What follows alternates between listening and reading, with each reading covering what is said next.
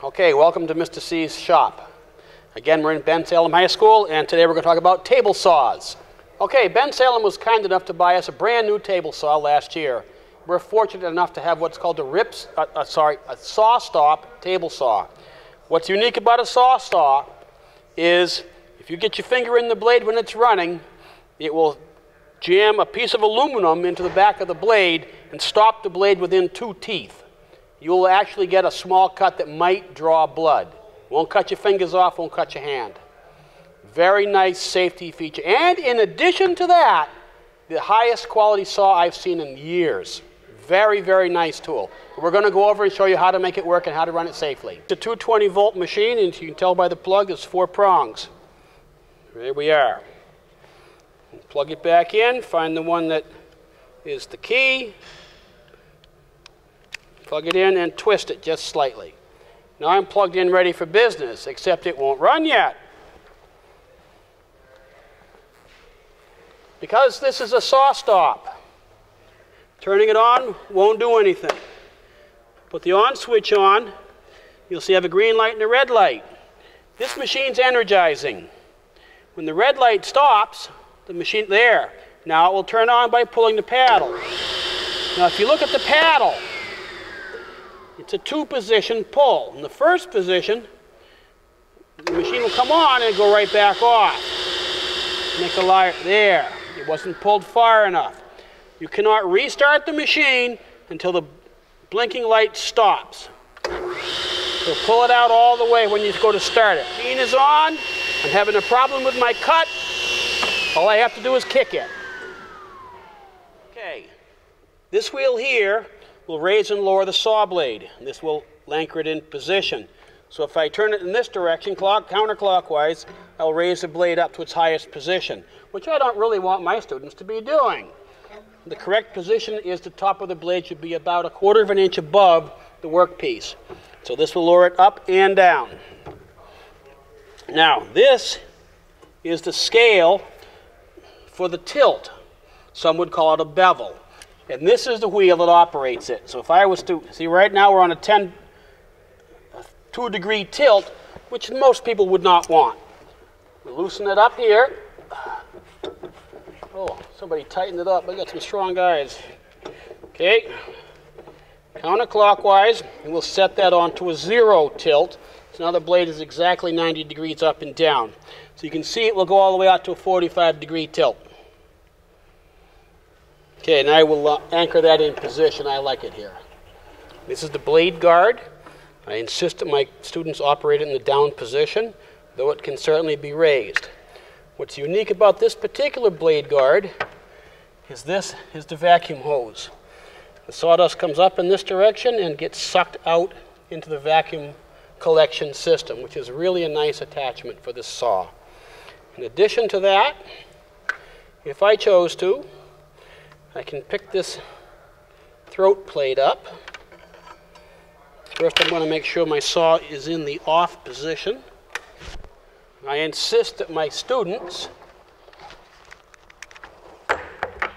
unplug the machine anytime their hands are on or at the blade. Loosens the attachment, and this called the riving knife will come right out. There we go. Okay. You can see the riving knife comes right out. This, I'll explain the riving knife in a minute. Sometimes, if you're going to rip a very small piece of wood, you put the blade back down, put the lever back down, put the throat plate back on. If I want to rip a very small piece of wood, I could do that only if the riving knife is out of the way. My students are not allowed to do that. If they need to take that blade off, that device off, they have to come and get me before they can turn the saw on. Now, we'll just put that back on. To put the riving knife and blade guard back into position, you have to hold the kickback devices up and they've got a little slot that they fit into. That way you can get the throat plate back on. There's the slot right there. There, now they're both in position. Put it back into the position here. There we go. And attach the lever. You can see I'm close to the blade, so my saw is unplugged. Put the throat plate back in place, push the front piece down, and release the kickback devices. Okay, I want to talk about these little pieces of steel right here, one on either side. These are the anti-kickback devices. It's designed so when you push your, feet, your material into it, if you have a saw kickback, you can see that bites right into the wood and prevents it from hitting the operator. This is particularly important if you're ripping small pieces of material. Since the saw blade goes towards you, if there's an accident, it flicks the material back towards the operator just like that. And um, I've seen serious bruises and impalements. Okay, this is called the rip fence, commonly called the fence. And this is the lock lever, lock knob, which slides forth and back like this, always stays parallel to the saw blade. And the way to set it up, you can either measure your material here, lock the fence into position, or you can measure it here. We want four and three quarters, set it up right there, lock the fence into position. It's important that you lock the fence, otherwise you're freehand cutting. There's no freehand cutting on any table saw. So once it's locked in position, my fence will not move. Now, this particular machine I'm cutting plywood, you can come all the way out here. I can make 48 or even 52 inch cuts. That's more than half the size of a piece of plywood. I don't generally use it. Most of it is on the table itself. So again, if I want four and three quarters, I'll go for four and a half right there. Position it accurately, Tighten the fence up so it won't move. And when I cut, my board stays up tight against the fence. That will ensure an accurate cut and a safe cut. Okay.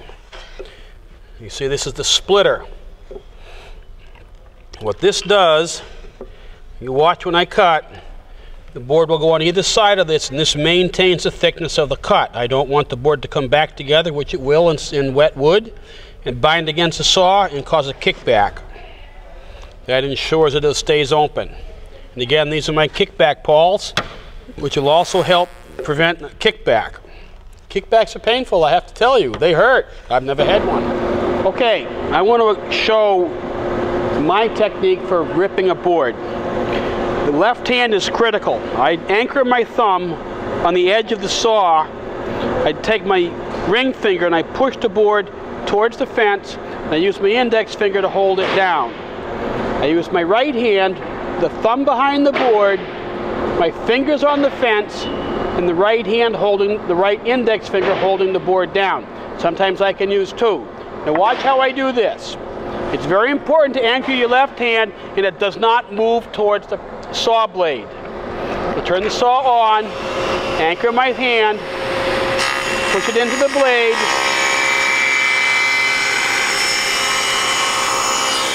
Step to the side. Push the board all the way off. Turn the saw off.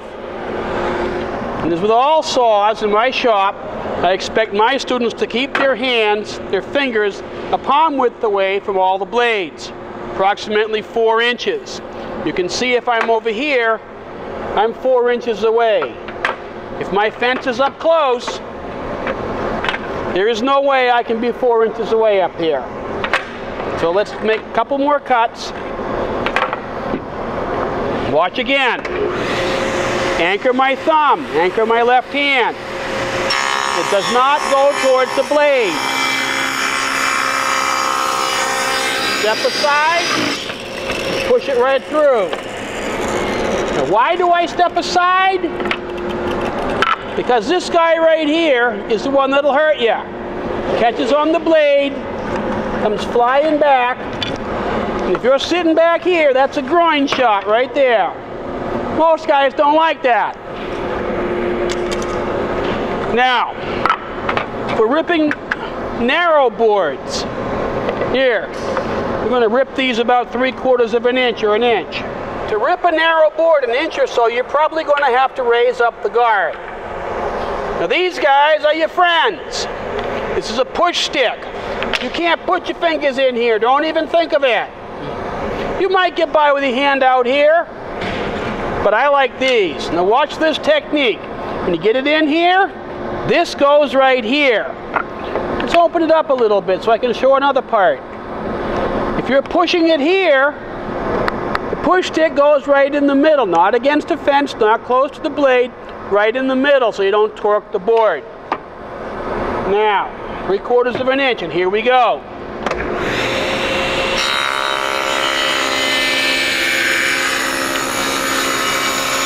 Now, this stick goes right here in the corner. And I push them all the way through. Turn the saw off. Were my hands within four inches of that blade? Not a chance. This tool we call the miter bar. Some call it a miter head. A miter is simply an angled cut going against the grain. If it's a 90 degree cut, like this here, that would be called a cross cut. I'll demonstrate that in just a minute.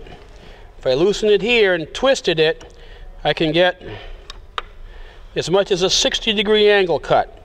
I can also do this on the chop saw. So I have my students do these kind of cuts on the other tool.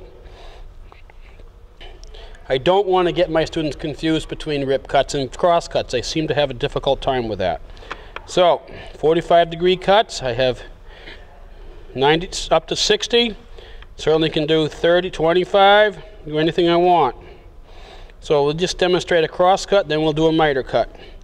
Again, position it where you want it, tighten the miter bar up, gently feed it into the blade. Never freehand cut any piece of wood on a table saw. This would be a freehand cut.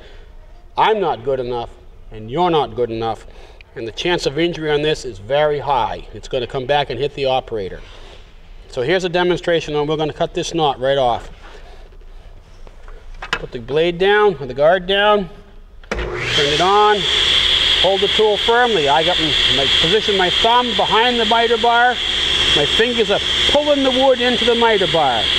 Nothing is hanging out to get cut, except the board.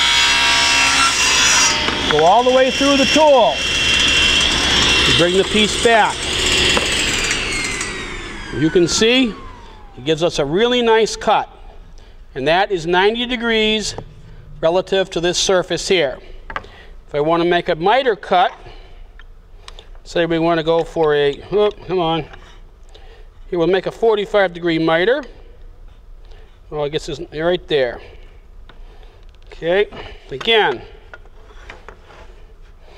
Position that gets yourself all set up before we start.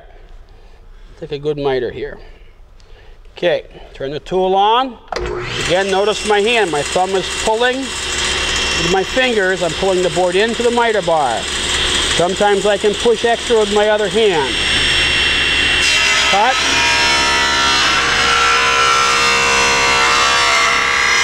Follow through. Now, you bet. That's a dangerous piece. Shut the saw off. Don't reach for it. Don't pull it out. Let that sit. Don't stand behind it. That's the one that'll hurt. You can see I can pull that off now. If I was doing a picture frame or moldings around a door, I'd have a nice little mold. So again, that's a 45 degree miter cut. Now the table saw, because it rotates towards the operator, you'll notice I've got a nice clean cut on this surface here. That's because the blade cuts this surface first and it breaks out on this surface here. It's a little bit rougher. You can see that clearly when I, this is how the piece was, nice clean cuts. When I flip it over, you can see there's kind of a feather edge on here. That's where it breaks out. Now this is a pretty good blade, it's nice and sharp, I still can't prevent that. I'd have to sand that a little bit. Okay, you can all see, this tool has a vacuum hose. It connects to it right here. This one is set up so you just got to push it on. I use that for several tools. If the vacuum hose is not hooked up, I would like my students to not use the tool. Dust is a problem in all wood shops, and this is how we do our best to control it. And the advantage of this is if I turn it on, when I go to clean up, all you have to do, the four inch tube,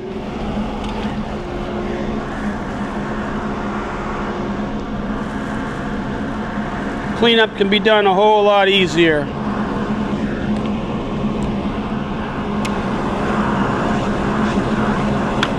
There. And just simply slide it back on and turn the vacuum off. Simple. I hope you all enjoy the table saw. It's a great tool. It's the heart of all wood shops, and we've got a beauty. Hope you learn to use it safely and accurately.